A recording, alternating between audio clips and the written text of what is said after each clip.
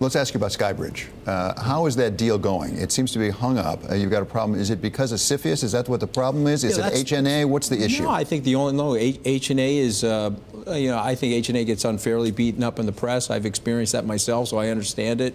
Uh, it's a Fortune 80 company with 100 billion dollars in revenues. They've got 400,000 plus people, 45,000 people here in the United States. They don't import anything into the U.S.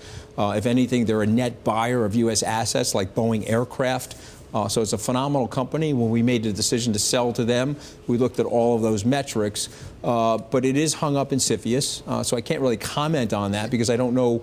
I don't know directionally what the decision is going to be made there. I well, well, that's the question. Is it going to get clear and when, in your well, judgment? I, I, I listen. I would be very hard pressed to understand why it wouldn't clear. I don't see a national security. If you look at the statute and you really analyze the statute, there's no national security reason why SkyBridge could not be sold to HNA. But listen, If it doesn't, you what do you do? Oh, there's so many fun things to do. I'm an entrepreneur. I mean, No, no, no, there's I so know, many fun but, but, No, but but what are the SkyBridge. options for SkyBridge? what, what are the options? Well, well, first of all, SkyBridge is having a phenomenal year. Uh, take a look at their performance. If you look at the performance measured by volatility in the markets, uh, they're twice the hedge fund index, and it's a phenomenal bond surrogate as a product.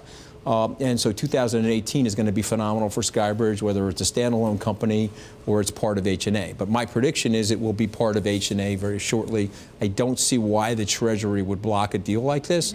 But you know, I learned in 2017 that a lot of things happen to you that you don't expect. Uh, but the good things about entrepreneurs and the good things about the culture at SkyBridge is that this is a culture that knows how to adapt and pivot um, Yeah. and excels. And we've got phenomenal performance there.